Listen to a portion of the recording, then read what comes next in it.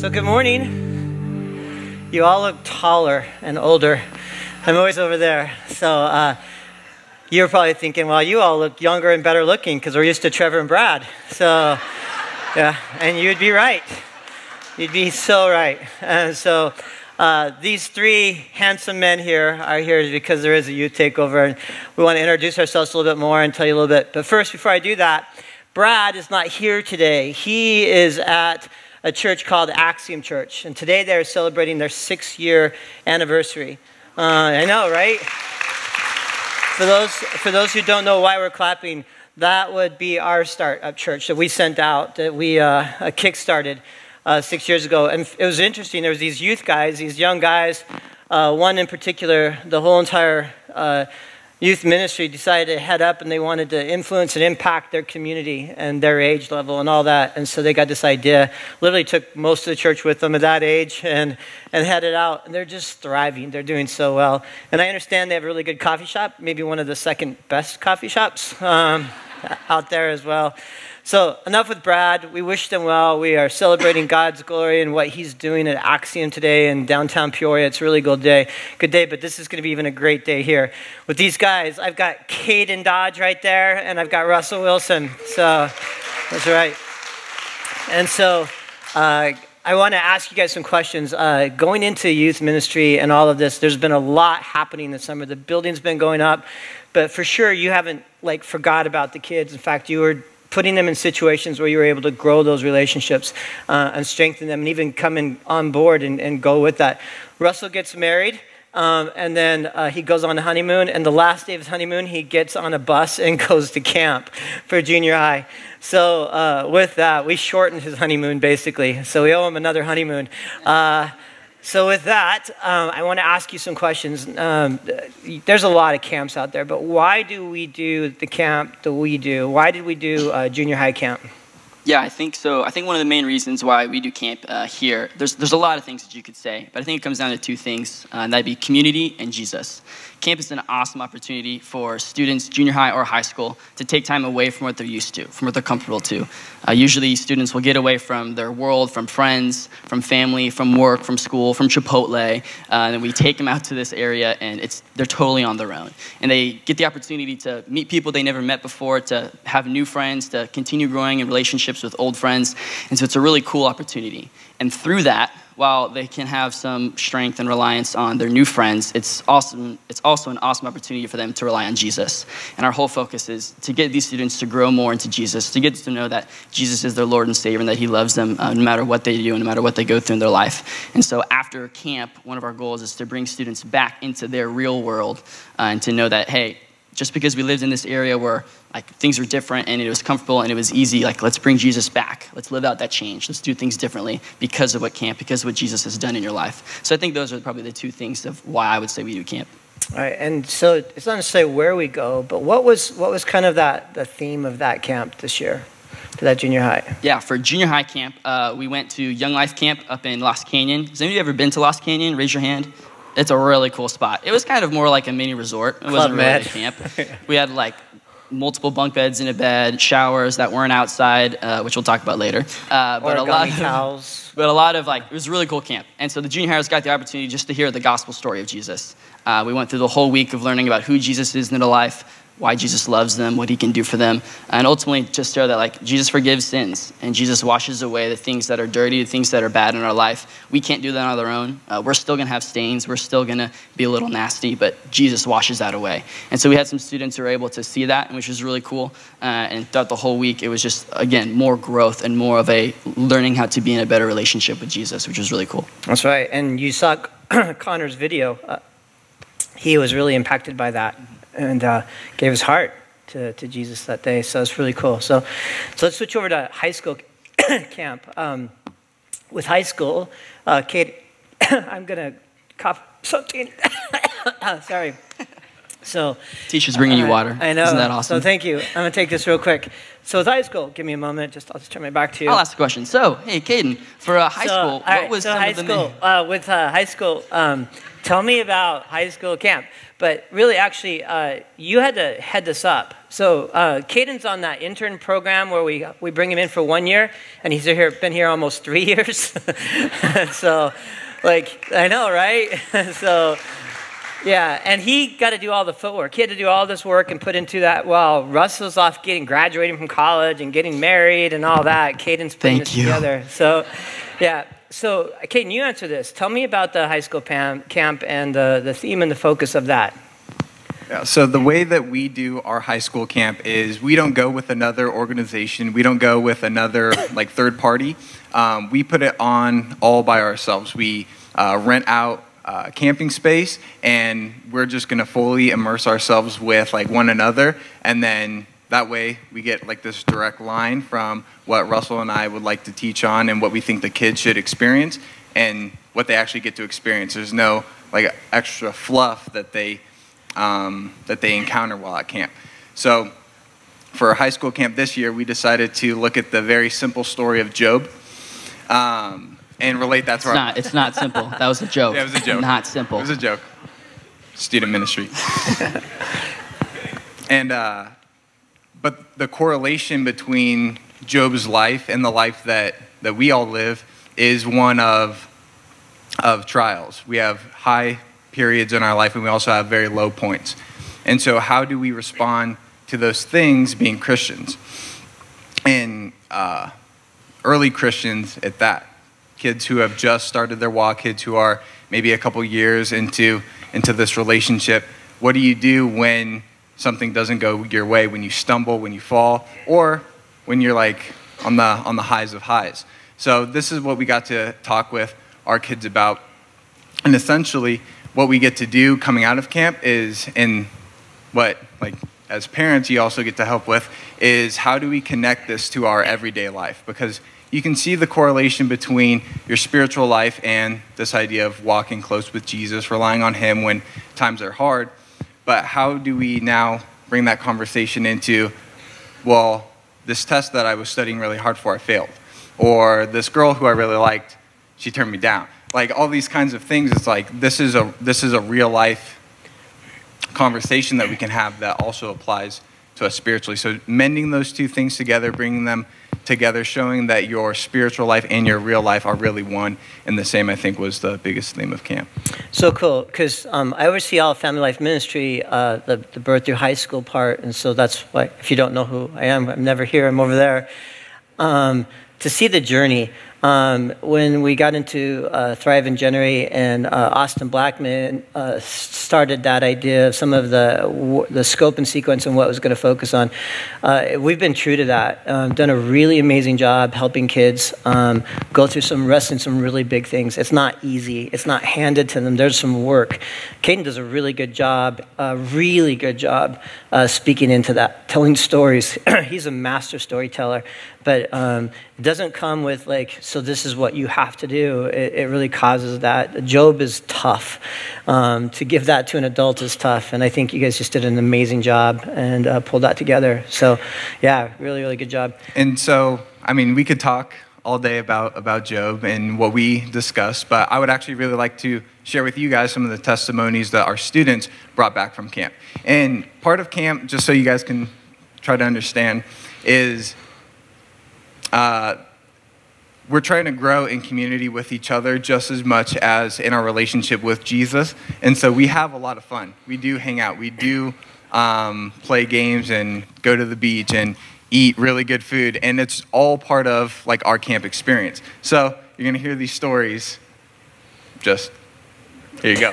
The funniest thing about camp was Keegan getting pushed into a bush.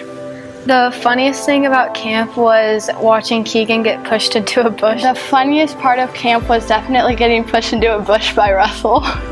The funnest thing was getting to know everyone and playing kill ball, you know, getting hit in the face a couple times. Pretty fun. My favorite memory from camp was um, the last night. Chloe, Megan, Kaylee, Kimberlyn, and I, we all stayed up until like 1.30 in the morning probably. And we kind of just got to talk about um, some of the things that we didn't get to talk about like during the message. Um, so just like personal stuff and life stuff, things that we were kind of getting caught up on for each other or like with each other. Um, so that was really cool. my favorite's probably my first year uh, I ever went to camp. Um, I met a bunch of new friends and like we spent the whole time together. My favorite memory of camp was bedtime stories. Every night before we went to bed, Mary Frances would tell us embarrassing stories and then we also just got to talk. And it was cool because we got to like laugh and grow closer to each other and then also get cool advice. My favorite memory about camp was when our whole cabin went out and sat in the grass and played Mafia for a long time. My favorite memory of camp was when we were all at the beach playing spike ball. We played spike ball a ton and it was super fun because we could play with tons of people and it just never got boring. One way that I experienced God was through the worship because we were all just really in that moment together and um, just hearing everybody's voices together. It sounded so beautiful and I think that's when I always, especially at camp, really experienced God's presence. I experienced God through morning devotions. After reading through the passage of Job, I would ask myself questions that related more to my life, and then either through message or tent time, they would be answered. I think I experienced God differently this year than I have in most. I think that um, I saw God most through the conversations that I had with people, um, just because I was able to dive deeper into my relationships with them, and then through that, I was able to deepen my relationship with God as well. I feel like I experienced God in a lot of ways at camp, but one of the biggest ways was when I did my one-on-one time with Mary Frances, and when and we were talking and like we all we learned more about each other, and I think that kind of led to how God does everything for a reason, and that just helped me, and I think He wanted me to know that. I experienced God really during our morning devotions where we just sit on the beach and really just like communicate and see all the things he made. I feel like I experienced God because he felt like a fatherly figure to me the whole time. So I just felt like he was like this father that was just watching over us all and just happy to see us all having fun. I was able to experience God at camp through worship around the campfire every night. Um, I experienced God a lot through like the morning devotions and the talks and through watching like how Job even though like he went through so many struggles and hardships, he still like praised the Lord and his faith remained strong. Camp this year has really impacted me because I took away from the story of Job and it helped me realize that God will give me all these challenges and he'll help me overcome them and like fight my battles with me. Personally, I feel like camp impacted me because I'm going into my senior year of high school and through that comes a lot of worries and stress. And so watching like how Job remained faithful and remained like strong with the Lord is really impactful and inspirational. Camp impacted me by just allowing me to come out of my shell and just build a relationship with people because I had an opportunity to play games and just talk with people that I wouldn't normally talk to. Camp has impacted me because I realized that I need to have a really strong foundation in God throughout my whole life and also I was able to um, meet new people and grow closer to certain people and it just gives me like a good group of girls who I can ask for like prayer and for encouragement and advice and that was something that I was really needing. Um, camp has impacted me differently each year, but I think the um, thing that's most consistent is that I change as a person and my world perspective changes each year too um, whatever we're learning about at camp, it always has to do with something that's going on in our everyday lives. And so just being able to think about that through, for a week and um, have the chance to reflect about what that means for us is always really, it changes something in your heart.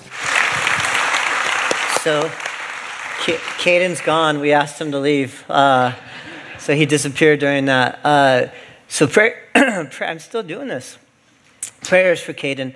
Uh, and if you see him out there, uh, congratulate him and, uh, for doing such a great job in his almost three years of ministry.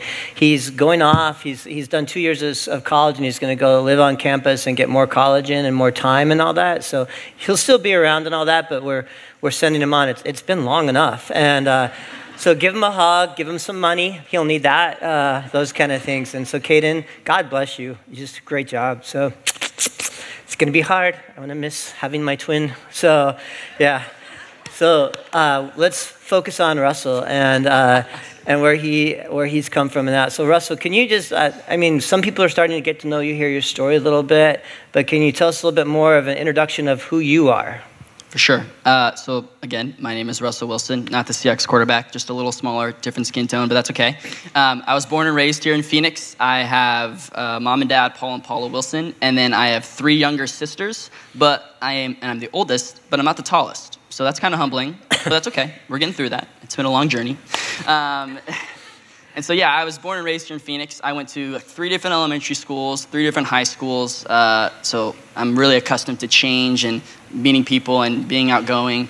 Uh, at least I think so. And then uh, I also went to two different churches kind of throughout growing up here Christ Church of the Valley, and then also Salt Light Community Church, which was a church that my dad started up.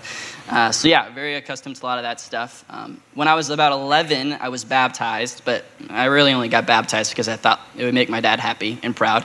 I saw actually this one kid get baptized and then I think it was like a month later, I told my dad I wanted to get baptized because he got a party and like a ton of presents. And so people came to like my baptism party and I got presents when I, and it was kind of cool. So bad reason, yes, I know. But that's where Jesus comes in.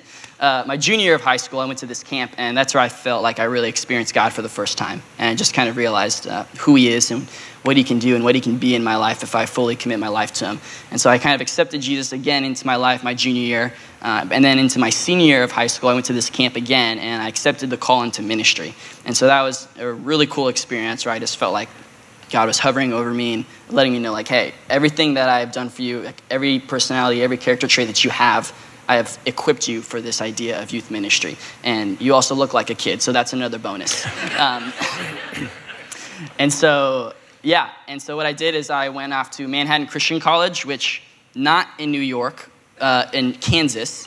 When I was in my senior of high school, there was literally this kid who was like, dude, that's so awesome. You're going to Manhattan, New York. You're going to play soccer and go to school there.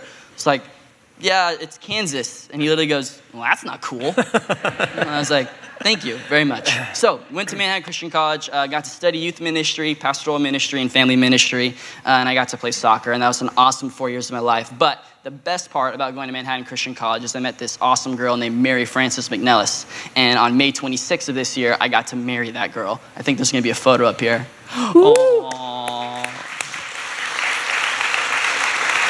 So she is she is awesome. She's actually at another friend's wedding of hers in San Antonio right now. She's flying back, so that's why she's not here. But if you ever see her, uh, tell her just say like I embarrassed her or something up on stage, because then that'll get her really red, and you guys would appreciate it. But again, that was the best part of going to Manhattan Christian College. Uh, and then Kevin reached out to me, and I got to come out here and be your guys' youth pastor. And I'm super stoked about that. Yeah, uh, it's really cool. Mary Frances is amazing. She's awesome. Uh, such a joy. She's got a smile that kind of goes forever. Uh, it's just never ending. And uh, and I've known Russell since literally for a long, long, long, long time, um, and uh, watched his journey. And it's just funny how you watch a journey and you can feel the prompting of, of God to know that God has made him out for such a thing and such a purpose. And some people are still trying to dial that in. I wonder why God made me and created me. This whole entire time, God's got hit, stamped on his head, youth pastor. Like, Russell is fun. Uh, in that wedding picture, he's wearing Spider Man socks. He's, you know, in the, he's just All really. my groomsmen had Marvel socks. Yeah, so, so uh, he's just made uh, he's done a lot. So in your Manhattan experience, you had a lot of you got a lot of influences uh, and people and experiences. So can you share a little bit about that? Like what's been guiding your heart and who has God put in your path along the way uh, to to get to this place? Yeah, so uh, throughout college and throughout even in the high school years, uh, I've been involved in a bunch of different youth ministries, and I've been able to be a student in youth ministries. I've been able to be a volunteer. I've been able to be an intern, and so MCC, short for Manhattan Christian College, allowed me to have that opportunity to be like volunteer and to be an intern, and that was really cool. And kind of throughout my accumulation of youth ministry uh, career, I guess, uh, I was just able to see a whole bunch of different things, and it was really cool. And so those are things that I wanted to implement, and that affirmed my passion and my desire for continuing to pursue the Lord and continuing uh, to use my gifts for youth ministry and to hang out with kids. Um, but at MCC, I met a ton of cool people. Obviously, uh, you saw my wife, who was the coolest of them all. And then I met friends from like all over the place. I mean, a kid coming from Arizona out into Manhattan, Kansas. I have a friend from Arkansas, a friend from Omaha, a friend from Amarillo, Texas uh, a friend from Indiana, from, like, all over the place, and that's just been super cool. Many, many people that have went to MCC were a big part of my life and helped uh, just start this new foundation of who I am in Jesus and who I am to come in years. All right. So he, you seem to build a crowd. There's been people traveling who come in and want to see Russell and see the vision and all that. Uh, serious, strong leader. In fact, there's three people. So we have Mary Frances and Russell who came from Manhattan Christian, and Mary Frances graduated also from Kansas State.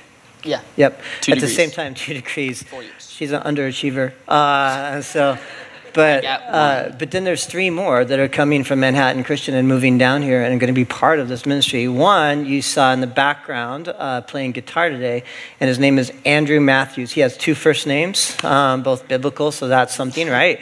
And so Andrew, stand up. I don't know if they can see you. Will you run? Will you run around the whole thing real No, quick? no, no, So- just stand there. You're good. You're good. Run really fast. No, no, Go. just stand. You're good. Yeah. You're not running. Run around so everyone can see you, no? So that's Andrew Matthews. He plays like 12 instruments, right? Yeah, he can play bass, acoustic, bass, uh, piano, drums, and these. I consider this an instrument, but his voice is like a mixture of Fergie and Jesus. So if you want to hear it, come to youth ministry and you can hear him sing. That'll be really good. So good. Yeah. Uh, so we're probably going to wrap. He's staying at our casita right now, and uh, we'll, I'll get out my accordion. We'll, we'll have some time.